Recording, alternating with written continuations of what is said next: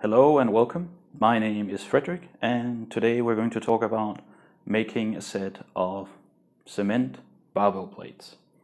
So the first question you'd want to, to ask yourself is why make uh, a set of plates to begin with?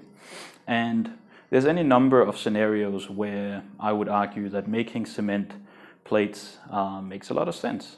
Maybe you live in a place where there's no good gym close to you, there's no access to a good gym, and so having the possibility of making your own equipment uh, makes a lot of sense in that scenario.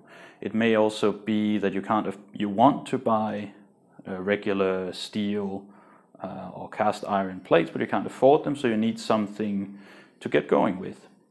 It may also be that you're not sure whether you want to keep training with a barbell in the long run, so you want a cheaper entry point into training and then uh, take it from there. It may also be that you want to very slowly accumulate equipment and then have have something that allows you to get uh, to get going. Um, or maybe you live in a place temporarily, you know you're not going to stay there very long, so you don't want to sink a lot of money into a huge gym that you then have to dispense with later. So whatever the case may be, cement plates is a way to get going. Um, yeah, so let's let's get into the making of the cement plates. All right, so here we have um, a brief overview of the things that we will need to make the plates. Um, obviously, we will need cement, sand, and some small rocks um, and some water. That's the main uh, components of the cement itself. We'll also be adding some PVA glue, and that's just to further strengthen the cement. Don't have to use PVA, you can forego it altogether. There's also special uh, additives uh, for cement um, that you can buy. PVA glue is just available and it's relatively cheap, so use that if you want. Then we're going to put the cement into a mold and use what you have access to and you can find or make huge investments on it. Uh, I'm going to try to emulate as much as possible a 5 kilo plate, a 10 kilo plate and 20 kilo plate. So I try to find uh, molds that fit roughly with, uh, with those, um, those sizes. Uh, inside the mold I have a PVC pipe that I've hot glued to the, to the plastic uh, container. Other note here, as far as you can, see if you can see it here, get plastic containers that are relatively straight on the side that don't go that's not too concave because that will make for uh, plates that more more closely resemble uh, normal barbell plates. Um, another note here is the, the PVC pipe that I'm using.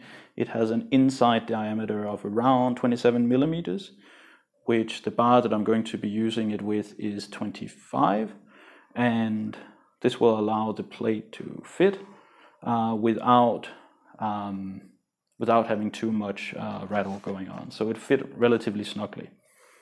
Um, the concrete, we are going to enforce it with some metal. So I think it's called rebar or something like this. It's a cheap iron that you can buy in lengths and then you cut it to size.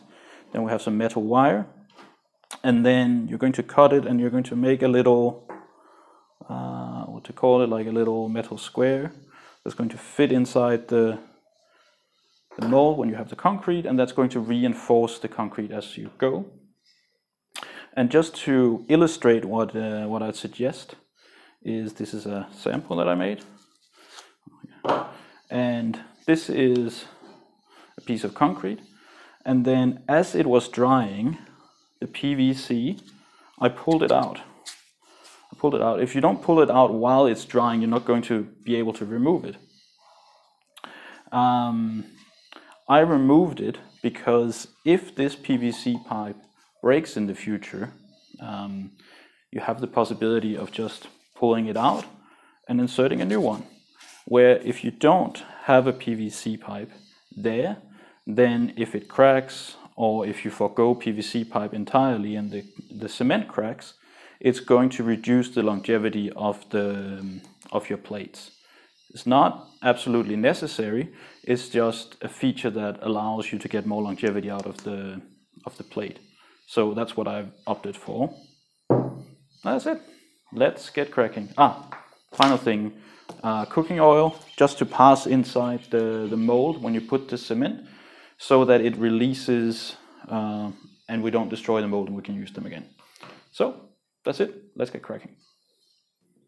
So when passing the, the cooking oil inside of the mold, try to get a good spread and also include the, the PVC pipe in the middle, uh, as I'm doing here, and get a decent amount on so the weights will slip. Making easily. these, uh, the reinforcement that goes into the um, to the molds can be quite finicky if you try to do, we have the metal wire here, and you try to tie these um, pieces of iron together, it can be quite finicky and it goes all over the place. So I came up with a little uh, device to, to help out with that uh, process, just because I got frustrated trying to do it by hand.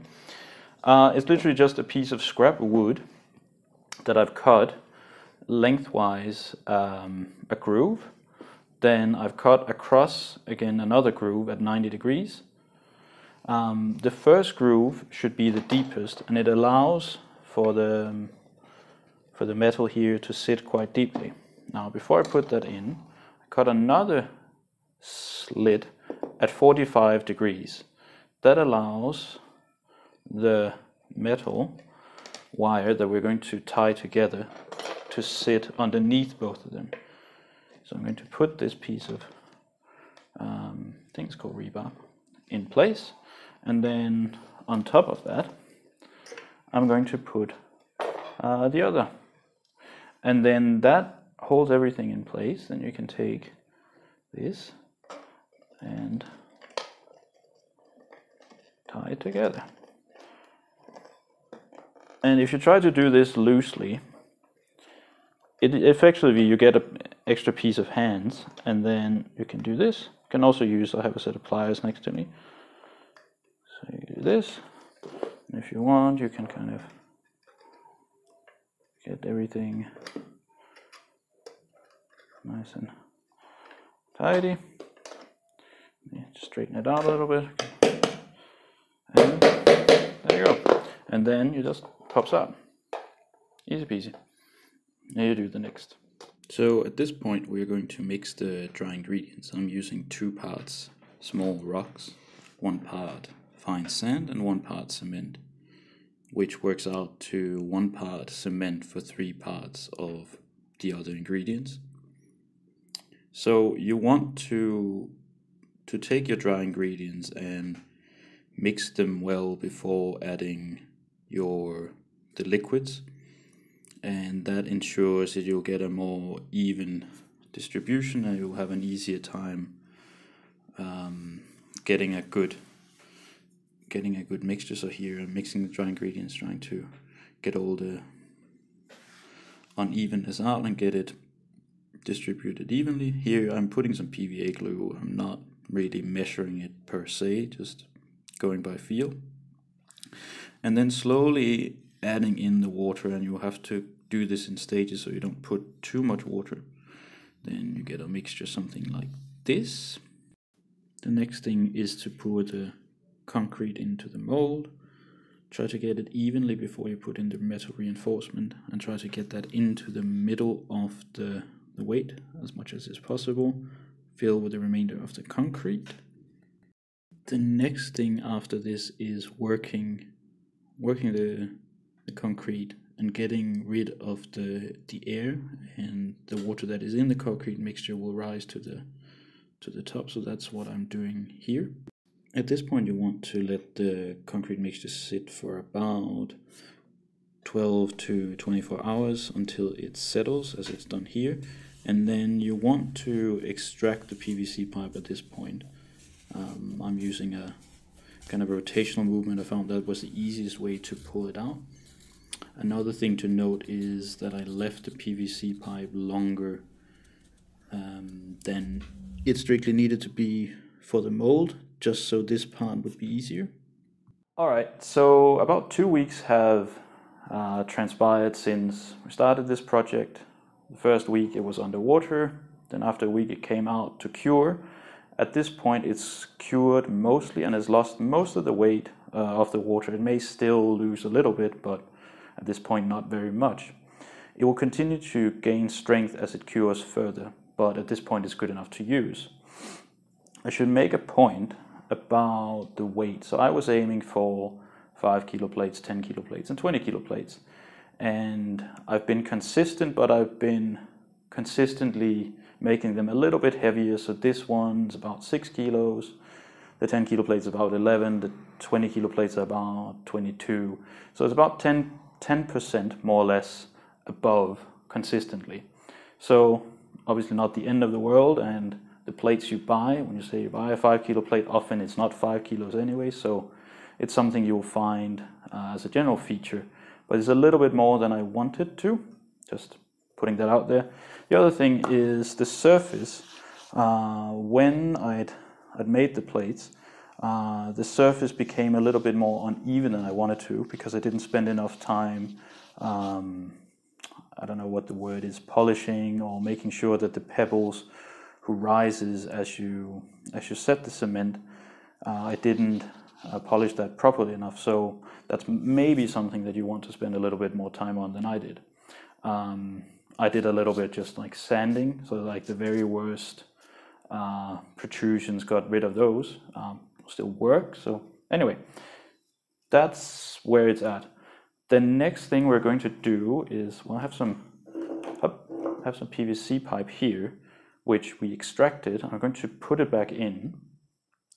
I should make a note here about the height of the PVC pipe.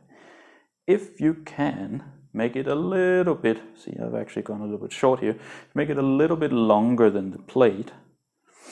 It will, when you drive it through, it will create a distance. So if you have all the plates together, you have more than one plate, it will create a small distance between the plates so they don't rub against each other and then that will prevent them from degrading. Can avoid that would be great.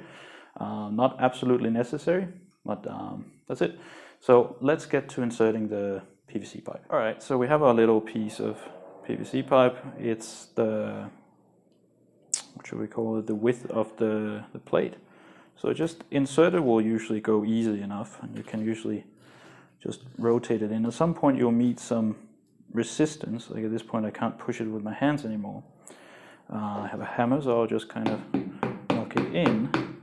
If you're at all worried about hitting the cement and damaging it with the hammer, you can take a little piece of, um, a PVC pipe and use as a kind of um, create that distance so you're only hitting the PVC and nothing else. That's it. You can hear this, it's been driven all the way in. And then if we flip it over, you can see here that the PVC has come through. Uh, one thing I've done on the other plates is I've just run a little knife on the inside groove of the uh, of the PVC to take off this edge. Also makes it easier once you put it on a bar. It, that bevel or edge doesn't catch the bar and it makes it it makes it a little bit easier to put it on. Again, it's not a necessary thing to do, it's just uh, easier. And just to recap why I put the PVC in in the first place, uh, if there's wear and tear on the plate, on the, on the inside of the PVC, uh, if that breaks, I don't think it will, but if it breaks, can always replace it with another piece of PVC where if it's the cement, you can't do that this you're you're kind of you'll have to make a new plate. So we're protecting the cement by having the PVC in place. That's the whole that's the whole idea. All right, that's it. Let's see the the plates all together in action. So I calculated that with the concrete weights, uh, they take a little bit more space than the normal weights do, but you should still be able to, even with my bar, it's a little bit shorter than a normal bar, you should still be able to load it up to about 150 kilos. A standard bar would be 200 or even more, so plenty of potential for for most people to get their barbell needs met with concrete weights. All right, so at this point, just some final remarks about the construction process, the things that could have been done better and how you might improve on this design. So the first thing to talk about is the shape. Shape is obviously determined by the mold that you use. And the one thing I would single out as being important is, you see, see you can see it here, the edge is not completely straight. So if you can find a, some kind of mold that has straight edges, it will give you something more like a weight plate. It will not necessarily be important. If you're not going to do any lifts of the floor, it's actually not important because the plate will not come in contact with the floor. The problem is that if you have a mold that's not with straight edges, it will create an edge and that edge will be the thing that will come in contact with the floor and you run the risk of chipping that edge. So straighter is definitely better in this case.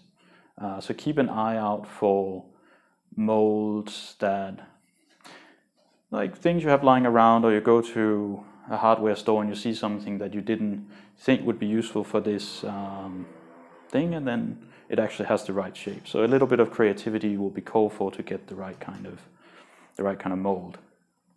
The other thing I mentioned um, briefly is the accuracy here wasn't great. Like I was fairly consistent, but it wasn't. I didn't hit the weights that I was intending to.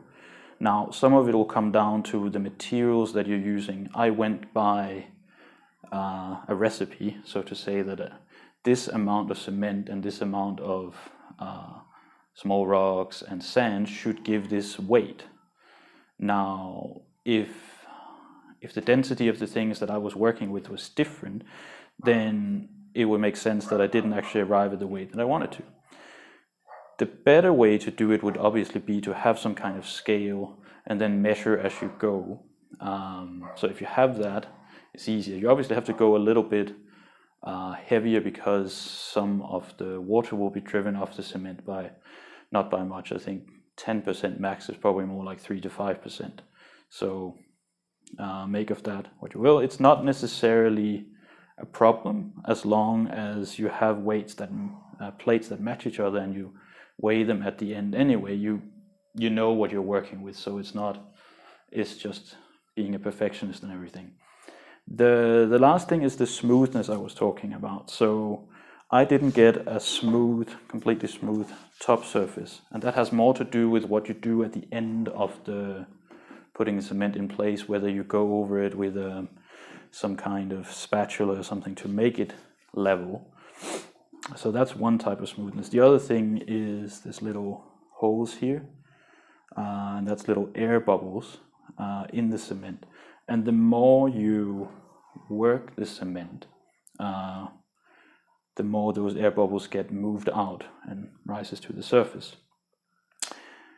Some of it also has to do with, like I went with small rocks in the cement mixture, and it makes it cheaper to do, but also it makes this kind of thing more likely to occur. So if you're really perfectionist, you want completely smooth, working with some type of gravel or coarse sand would be better than working with uh, small rocks. So again, just some things to consider. You could also go with like some kind of filler at the end to make it completely smooth, polish it, and then paint it if you wanted to, and write the number of the weight and all that stuff if you want to. So those are just some considerations of how you could improve the whole design further. Maybe I'll do that myself down the road a bit. I'm happy enough with what it turned out to be and it will serve my purposes well. So hope you got something from this little video. And if you did, consider hitting that little like button or the subscribe button. It would help me out tremendously. And as always, thank you for watching.